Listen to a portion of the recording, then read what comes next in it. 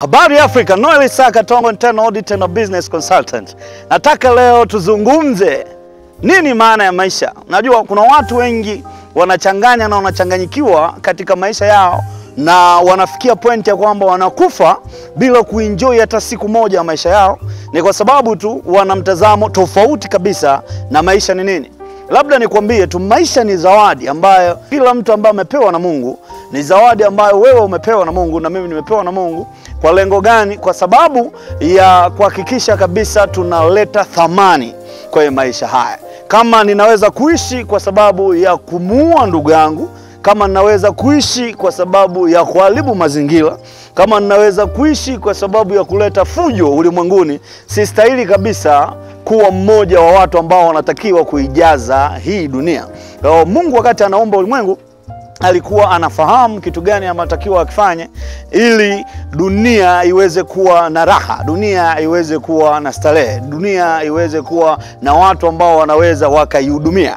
Eh, kwa wale wasomaji wazuri wa Biblia wanasema kwamba Adamu alipoumbwa akapewa aweze kuitunza garden na kuitunza bustani. Ina maana kwamba maisha uliopewa ni lazima uweze kuyalinda. Unayalindaje maisha uliopewa? Kwa sababu uh, wanasaikolojia wamesema wanasaikolojia wamesema kwamba wewe ni wastani, maisha unayoishi ni wastani ya watu watano wanaokuzunguka. Kwa nini ni wastani wa watu watano wanaokuzunguka? Marafiki wana uwezo mkubwa sana wa kuinfluence maisha yako.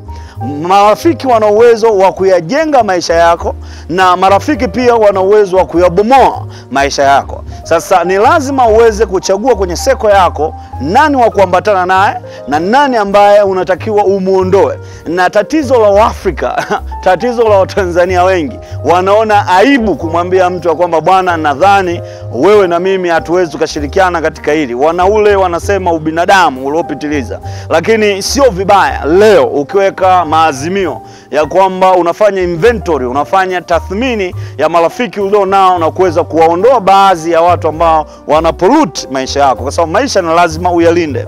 Unayalindaje? Kwa kuruhusu aina ya matirio, aina ya mawazo, aina ya mtazamo ambao unatakiwa uwe nao kwenye maisha. Ukiwa na mtazamo tofauti, negativity utakuwa na maisha ambayo yatakuletea matokeo dhaifu, lakini unapokuwa na mtazamo wa positive, mtazamo chanya, maisha pia yatarespond, yataitikia kwa mwitikio ulio chanya. Hauwezi wewe kila siku umelala, umeamka, unafikiria kushindwa, alafu ukaota kwamba siku moja unaweza ukawa na maisha mazuri. Haiwezekani. Kuna kitu kinaitwa subconscious mind.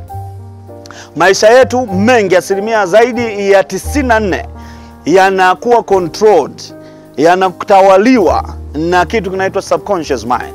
Hii ndiyo ile yale ambayo inakufanya wewe wakati umelala uweze kuendelea kuishi. Watu wamelala, lakini mmeng'enyo wa chakula unaendelea. Umelala, lakini uh, damu inazidi kusukumwa, kwa sababu subconscious mind yako imejenga picha ya kitu gani kinachotakiwa kifanyike katika maisha yako ili kuupa mwili wako afya. Sasa ni lazima uweze kuilinda hii subconscious mind yako. Na unailindaje? Kwa kuhakikisha kwamba unarudia mambo yaliyo bora, yaliyo muhimu, yaliyo chanya katikati ya maisha yako. Kwa hiyo hakikisha kabisa marafiki wanaokuzunguka ni watu ambao kwanza wana, wana, wana lengo la kufika mbali zaidi. Huwezi ukawa na marafiki wabovu wanaofikiria kidogo na wao ukawa ni mtu ambao unafikiria katika big picture.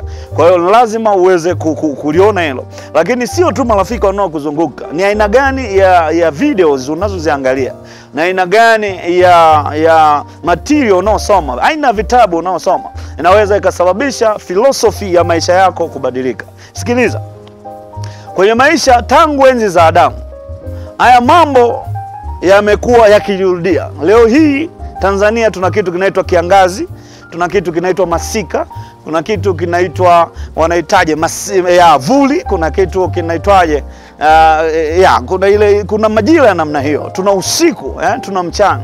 Hivi ni vitu ambavyo vinajitokeza vina, vina kwenye maisha. Mfano sasa hivi eh, nakwambia ni saa moja kasoro uh, kama dakika ishirini na tano siwezi kubadilisha kitu ninachotakiwa ni kujibadilisha mimi mfahamu, ili uweze kujua kitu gani natakiwa kufanya katika majira haya. Usiku ukiingia, kitu gani natakiwa nifanye? Mchana ukiingia, ni kitu gani natakiwa kufanya? Watu wameshindwa kufaidi maisha yao kwa sababu wamekuwa wakipelekeshwa na majira, wamekuwa wakipelekeshwa na muda, wamekuwa wakipelekeshwa na mazingira ambayo wameisha wameishi na wanajisahau ya kwamba wana, wanaendelea kulaumu mazingira instead ya kuweza kujiupdate wao wenyewe. Nikupe tu ushauri wa aina mmoja ambao utakusaidia. Usiombee siku zote kwamba mazingira yawe marahisi ili uweze kufanikiwa. Kitu unachotakiwa kufanya ni kujiendeleza wewe mwenyewe, kujiboresha wewe mwenyewe, kuongeza thamani wewe mwenyewe, ili kwamba mazingira unayoishi yaweze kufanya kazi kwa advantage yako. Hakuna hata siku moja ambao uchumi utakuja kukufeva, ni wewe uweze kuongeza skills. Eh, katika kizazi hichi hakuna mtu ambaye anaweza kusurvive kama ana skills ya aina moja. Ni lazima uweze kujiongezea thamani.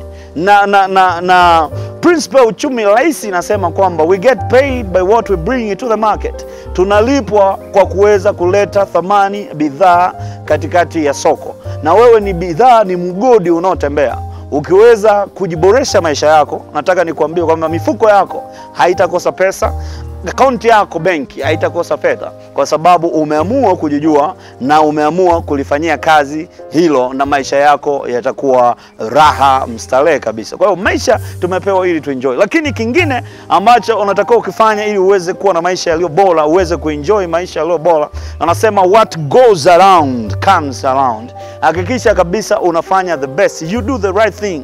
Usikubali mazingira au baadhi ya kikundi fulani kikushauri kuweza kufanya mambo mabaya ambayo hauyaamini. Ili uweze kufurahisha maisha haya ambayo umepewa mara moja tu, ni lazima uhakikishe ya kwamba you do the right thing.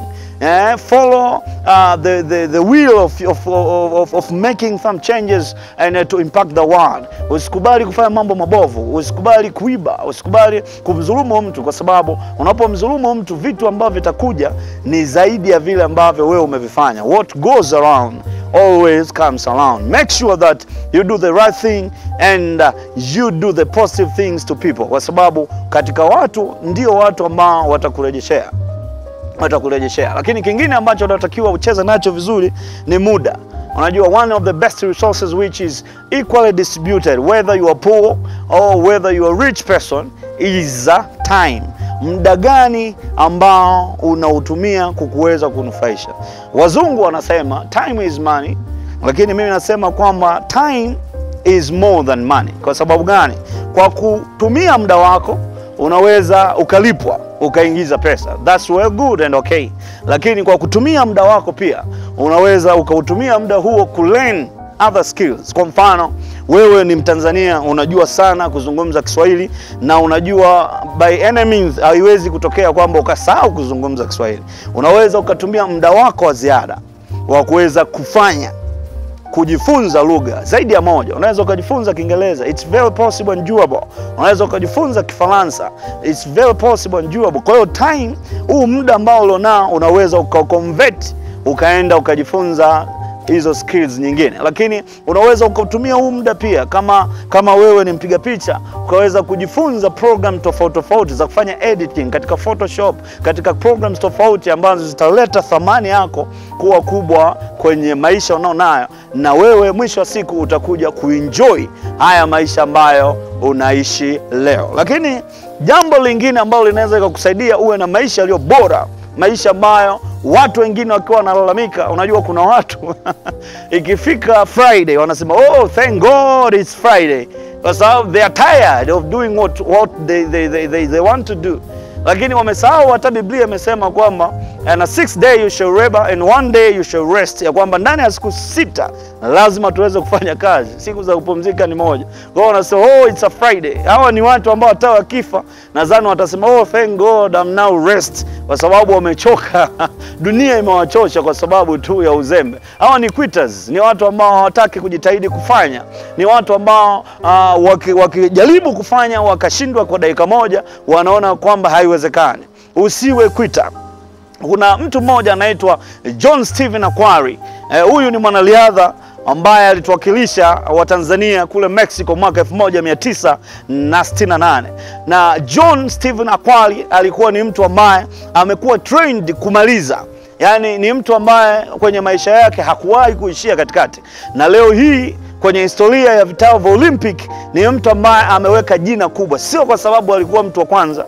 In fact, katika mwaka 68 mashindano ya Olympics alimaliza akiwa mtu wa 57, alimaliza mtu wa mwisho Eh, baada ya watu wote walioenda kumaliza zile mbio kuwa crowned, kupewa tuzo na kupewa medali, lakini ulimwengu leo unamtambua kwa sababu alimaliza mbio ijapokuwa alikuwa ameumia sana. Inasemekana alivyokuwa ndani ya kilomita 19 kwenye kukimbia marathon, alianguka na akajiumiza kabisa mguu wake pamoja na bega lake, na akawa anatoka damu, wakamfunga bandages ili kuweza kufanya stretching, lakini mwisho wa siku akatembea, akakimbia, akatembea, akakimbia, akaweza kumaliza yale mashindano na akawa mtu ambaye leo dunia inamtambua, na statement yake aliyotoa bado inafanyika kutoa motivation, kutoa aspiration kwa watu ambao wanatakiwa kufikia aa, na kuenjoy malengo ambayo wamejiwekea katika maisha yao. Aliulizwa, kwa nini uliweza kujipa moyo na kuweza kushinda kumaliza mashindano? Akasema, my country did not send me to, New, to, to, to, to Mexico City just to start a 5000 mile but they sent me to finish the course. They sent me to finish uh, these 5000 miles. Mba nchi yangu haikunituma ili kuja ku, ku, kuanza tu mashindano haya, bali nchi yangu ilinituma kuja kumaliza haya mashindano. How profound this statement! Ni namna gani ametutia nguvu ya kwamba ni lazima maisha uliopewa uweze kuyalinda, ni lazima maisha uliopewa uweze kukamilisha ni lazima kitu ambacho unachokianza ni lazima uweze kukilinda na kuhakikisha hakika umeweza kufikia lilo lengo. Usiishie kati. Kama wewe umefanya biashara, usikubali biashara yako kufa. Kama wewe unataka kufikia PhD kwenye maisha yako, usikubali PhD yako ishie tu ukiwa na first degree kwenye every aspect. Kama unatamani kuwa na familia, usiishie tu kuona watoto wako wanakuvuruga alafu ukawaachia dunia iwafundishe. Bado unayo nafasi ya kuweza kukaa nao bado unayo nafasi ya kuweza kurudisha familia yako ikawa familia iliyo bora. Usikate tamaa kwa mke ulio naye, usikate tamaa kwa mume ulio naye. Unaweza ukafanya jambo lililo zuri zaidi la kuweza kuhakikisha ile ndoto ulio nayo haifi. Ukiacha ndoto ife, hakuna sababu ya kuishi. When you stop dreaming it's already that you face the death. Umeshakwisha kufa, yani kama hauna ndoto ina maana umekwisha kufa. Ni mtu unaoishi lakini tayari wewe kivision umekwisha kuangamia. Yalinde maisha ulio nayo. Aa, kuna mwandishi mmoja na mzungumzaji mmoja alisema kwamba maisha ni sawasawa tu na kikombe ambacho kimejaa kahawa. Eh, sasa kile kikombe kwa mfano ukiweka sukari utaendelea kuenjoy, utakunywa na hautadhulika, lakini kile kikombe kikiingia sumu, ukinywa lazima ufe. Na hiyo sumu haijalishi umewekewa na adui yako au umewekewa na rafiki yako kwa bahati mbaya. Kwa hiyo ina maana ni lazima uweze kuhakikisha unalinda maisha ulio nayo ili uweze kuenjoy maisha ulio nayo na kuweza kuleta msaada katika ulimwengu tulio nao. Thank you very much. Make sure that this clip and this motivation speech is give you a new and it infuse you the energy to go extra miles to achieve your dream which you have already put. Na hakikisha kabisa uh, every time every time I know most of you you have setting goals, lakini uh, hakikisha most time you are reviewing your goals, you are renewing your goals kwa kufanya nini? Kwa ku raise the standard. Una raise standard kwa kuweka nini? Malengo kuyafikia kwa upana zaidi. Uh, mwandishi mmoja alisema kwamba most people they don't fail in life because they have set too high goals but they are failing because they are setting too low goals and they hit. Wanaweka ma malengo madogo madogo na wanafikia, na kwa sababu wanafikia hayaleti utofauti katika maisha yao, lakini wangekuwa wameweka malengo makubwa, hata kama wangefeli kuyafikia kwa asilimia mia, lakini bado yangewafikisha katika sehemu fulani. Anasema aim to hit to the moon. Eh, wewe panga kufika mwezini, hata kama umeshindwa kufika mwezini, utaishia kwenye nyota. Uwe na maono makubwa katika siku ya leo. Hakikisha hauishii njiani katika ndoto ulionayo. Hakikisha kwamba unafanya chochote kinachowezekana ili kuhakikisha ndoto yako imefika mwisho na unaenjoy maisha ambayo umepewa kuyaishi. Thank you.